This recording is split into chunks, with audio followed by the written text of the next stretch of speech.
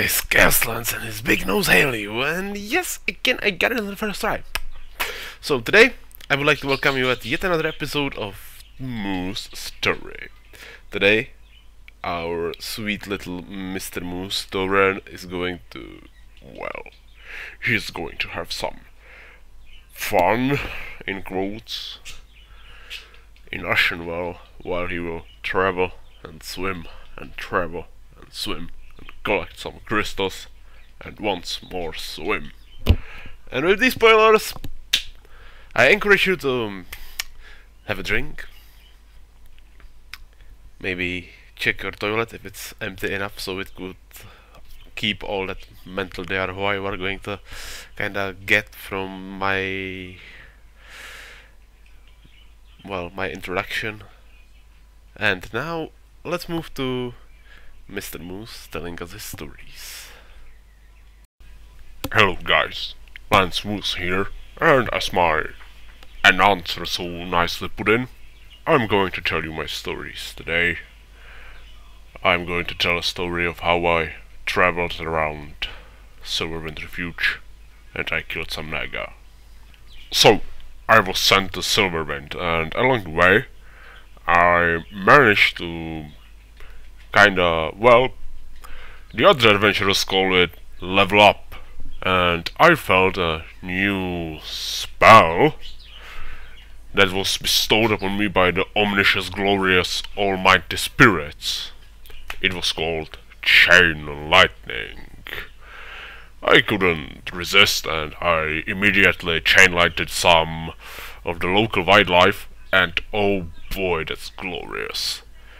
I can I stopped regretting that that the call of the shaman, if if I can say it like that, called to me because man, that is glorious. I have come to Splinter Tree birthday, smoothly after I roasted all that life around, but immediately after I came there, one orc grabbed me and started to tell me tales of the battle. You should have seen it, Shaman! The elves fought Silverwing to be impenetrable. With its heavy defensives and their arm of the water elementals, they were almost right. almost.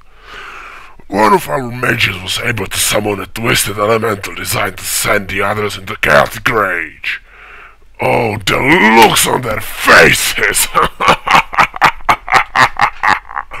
Unfortunately, mage who summoned it fell in the battle.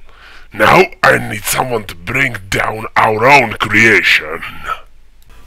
And after I said yes to this orc, he, well, he just pointed me into some big thing in a puddle next to the Silverwing refuge, but there were some interesting conversation going on outside of this guy's hut, maybe, or tent. I'm not 100% sure how to call Night Elven structures, which were inhabited by the orcs. We are here to do just one thing. Kill the lions! Um, don't forget about the bomb, Alda! Correction, we are gonna do two things. Kill the alliance and make sure our new goblin bomb gets the stone tunnel in one piece. And then we will use it to kill the lions! Now, do I have any volunteers? Sounds good. First battalion, prepare yourselves. And never forget, Scream's eyes are upon you. That screaming was pretty insane. I almost lost my ears. But, well, huh, along the way to killing the elemental and listening to those uh, fanatics, almost to say, I got another quest to kill Furbolgs for their ears and to kill their chieftain because they were losing their minds and threatening us and all that kind of stuff. Well, I killed the Furbolgs, I killed their chieftain, I reported, everything was alright, and then I went to kill the big bad elemental. He put up quite a fight. I never thought that water elemental could be resistant to lava magic, like the basic logic says that when you throw something as hot as lava into water, the water vaporizes and all is good. But obviously that was not the case with this big bad fucker. But, well, okay. Eventually, he fell down, and he dropped some weird globe. I thought it might be quite a good idea to bring it to someone who knows what to do with that. There was one guy, someone called Mastok Vrailis or something like that. I know that he had a really terrible name, and I decided that with that terrible name he must be really wise, so I brought it to him. You find a nasty ball of water and decide to bring it to me? Who am I? The Earth in the Ring or something? Actually, that gives me an idea. Perhaps you need the Earthen Ring for this. I mean, if it helps clear up the situation that you like for good, then I'm all for it. You know who the Earth in the Ring are, Mr. Moose, don't you? Of course I knew who the Earthen Ring are. Like, I'm a bloody shaman and there are the shaman elite, you fucking uh, retard, and oh, fuck that. Just tell me where they are right now. Yeah, well, one of them is in is in the splinter tree, and he should be able to guide you. So I guess that you need to return to splinter tree where you originally came from. I guess. Well, fuck my life. Back to splinter tree. I hope I was done with the hellhole as I purged the Doomguard who was pretending to be the leader of that uh, shithole. Damn it. Or whatever. I came back to Splinter Tree and I seeked out the... well, I seeked out that guy from the Earthen Ring and, well, it didn't go as I expected. The Earthen Ring guy in Splinter Tree sent me to Zoramgar outpost that there was someone more... There was someone more qualified to tell me what am I, what was I supposed to do with the nasty ball of water as that guy previously so delicately put in. So, well, I I asked him where the Zor Zoramgar, that's the word, that's also a fucking name. How orcs invent the name for things, for the love of holy Earth Mother. But I asked them for the way to Zoramgar outpost, and they told me that it's on the opposite side of Ashenvale, and if I haven't mentioned it previously, Ashenvale is pretty big. So I was like, I thought he lost his mind for a second.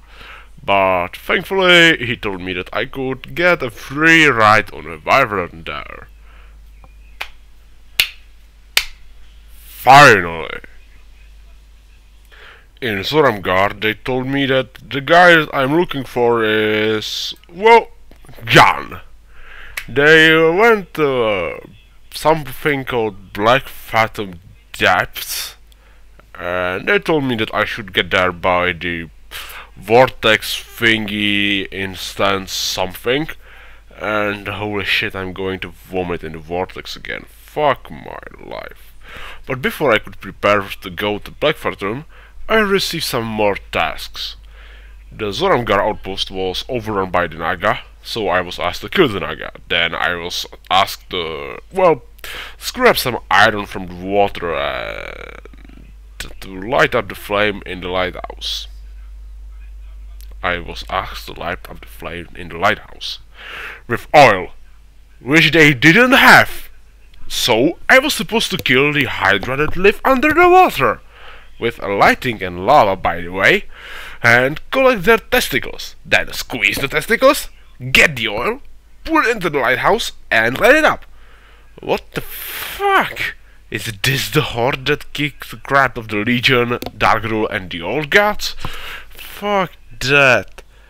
I just sometimes I regret that I decided to join the adventurous life. oh god. But, well, after some solid struggles, I decided to get the iron. But then I kind of started to feel like my lungs are empty of uh, the air. And, like, I started to drown. And I bloody drowned. But uh, I thought that I thought that the spirit healer would have some nasty, like, nasty thoughts about me that I almost died once more, and not almost, I fucking died there, and I drowned under the water, like, that's just the stupidest death ever. But instead, the elemental spirit's voice rang in my head. You really love dying, don't you? Oh my god. I thought that after this time spent in the world, you will know what to do, but obviously you don't. But this at least gives us, like, it gives you the opportunity to test that, and it gives me the opportunity to laugh at you a new ability. Like a new thing that shamans can do, and it's called reincarnation. That can bring you back where exactly where you are and because you have not trespassed into the realms of the spirit healers and the Murlocs and Bwonsamdi, I think that you still can kinda concentrate and use it. So concentrate and use it. It's not that hard as you usually think. I curse the spirit for being such an asshole, and I concentrated and I came back. Oh, that was pretty handy, as I didn't have to run in the spirit realm, and no spirit healers looking nasty at me, and oh boy, I'll need to do that more often. so I finished the killing of the, of the Hydra. I was watching well, air in my lungs, and I went to, well, squeeze the testicles and light up the lighthouse. Okay, I did that. I killed the Naga. I collected the scrap. Everyone was happy. And everyone was happy until we got some more info about the situation in Blackfathom depths. A blacksmith who asked me to collect the iron scrap on the bottom of the lake or sea or whatever the puddle of death was asked me if I couldn't venture there and collect some crystals of the Akumai Herald of the Old Gods because he thought that it would improve his weapons and along the way I was also supposed to kill some more Naga. So okay, Old God infused crystals in the hands of some peon.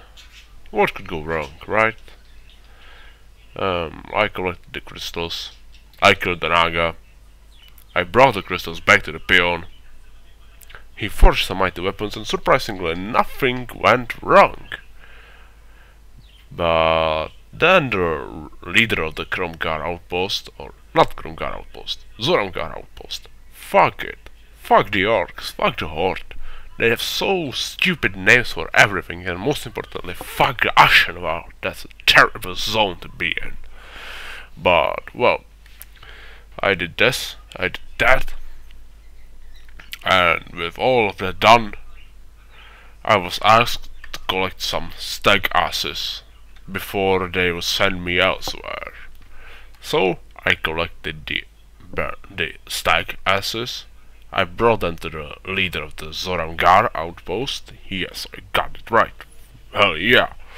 And, well, he then informed me about an urgent need for a shaman somewhere else.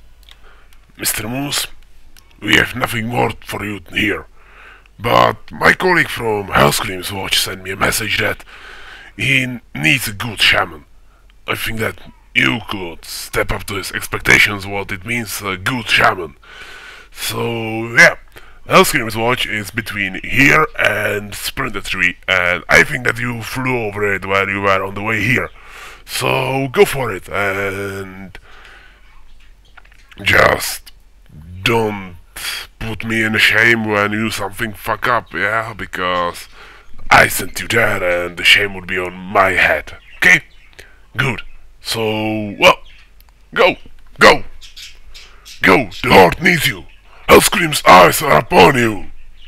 I've had enough running for that day, so I decided to continue my adventure next time.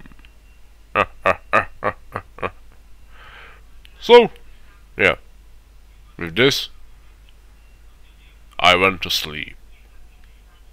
And the next day, I slept even more because running and swimming and doing all the things in one day it really exhausts one Tauren.